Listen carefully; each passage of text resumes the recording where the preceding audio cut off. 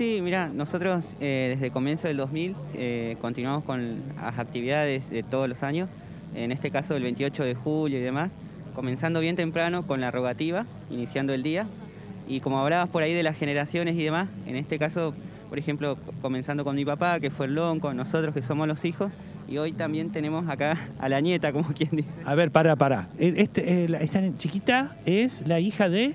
Es tu, tu- es tu hija, Eh, sí, la nieta de Ángel.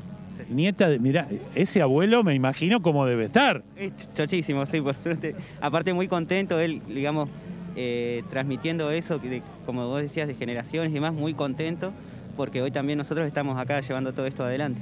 Bueno, bueno, y cómo, a ver, contame un poquito cómo fue la, la rogativa en el día de hoy, teniendo en cuenta todo el tema de las, eh, de, de la- de las cuestiones sanitarias. Mira, la rogativa fue hoy temprano, eh, siete y media, también se tomó en cuenta el uso del tapabocas y demás, tomando todas las medidas como tiene que ser. Eh, sabido es que lo que estamos pasando hoy en día con el tema de la pandemia y demás, así que por suerte se pudo llevar adelante de- de- de una linda manera, digamos.